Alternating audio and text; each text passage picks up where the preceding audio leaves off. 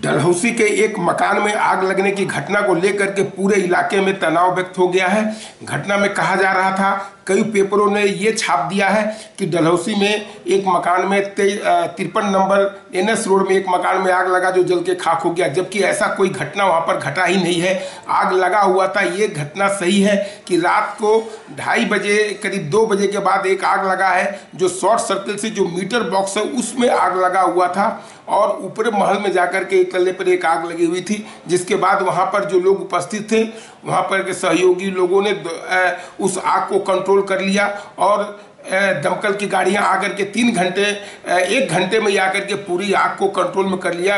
किसी का कोई बड़ी वहाँ पर ना कोई हादसा हुआ, ना ऐसा कोई बहुत बड़ा दुर्घटना घटा।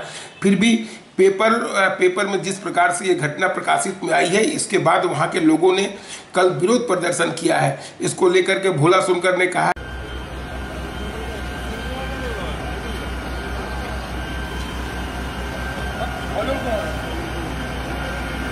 अभी अभी fifty three N S road में, नीचे में मीटर बॉक्स में आग लगने से ऊपर दो तल्ले में आग की पूरी लपट, धुआँ निकल रहा था। हम देखने के बाद संग संग थाना को फ़ोन किए। थाना वहाँ संग संग थाना से सब इंस्पेक्टर आए। आकर के कोई रास्ता नहीं बन रहा था, गेट तो खुलने का। गेट नहीं खुला, गेट बंद था। गेट को हम और तिवारी जी थाना के सब इंस्पेक्टर ने मिल करके गेट को तोड़ने के बाद में हम लोग पानी मार के मजदूरों के सहयोग से पानी मार के आग को कंट्रोल कर लिए। बहुत बड़ी घटना घटती ये बहुत बड़ी घटना घटने वाली थी जो बच गई। और यहाँ के सभी लोग यहाँ दर्शक बने थे। आसन का माहौल था। किसी भी तरह यहाँ पर आग को कंट्रोल में ले लिया गया।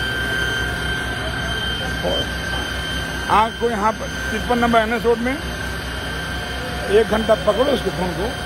तिरपन नंबर एनएस रोड में। यहाँ पर आग लगा था, जो आग लगने से, नीचे मीटर बॉक्स में आग लगने से काफ़ी धुआँ ऊपर जा रहा था, लेकिन मालूम नहीं पड़ा कहाँ से आग था। पुलिस आने के बाद में पुलिस के सहयोग से हम लोगों ने गेट को तोड़ करके अंदर में मजदूरों के सहयोग से पानी डल करके आग को बुझा दिया गया। फायर ब्रिगेड की गाड़ी आई है और हम लोग सेफ्टी का इंतज़ार कर रहे हैं। कुछ छोड़े में सेफ्टी आएगी। तिरपन नंबर बिल्डिंग एक भयावह दुर्घटना से बच चुकी है। नहीं तो ये आग के लपेट में चल जाती है। अगर गेट नहीं खोला जाता तो इस बिल्डिंग को बचाना मुश्किल था। धन्यवाद आप सभी को।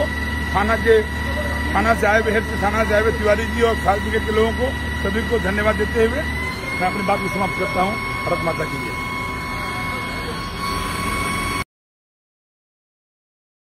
और अब जो वहाँ पर जो दुकानदार हैं, जिनका वहाँ पर ऑफ़िस कार्यालय है, उन लोगों का कहना है कि जिस प्रकार ने पेपर वालों ने बिना घर बैठे जिस प्रकार से रिपोर्टिंग की है, वो कहीं ना कहीं गलत है या किसके इशारे पर ये किया गया, ये बहुत बड़ी गंभीर विषय बना हुआ है।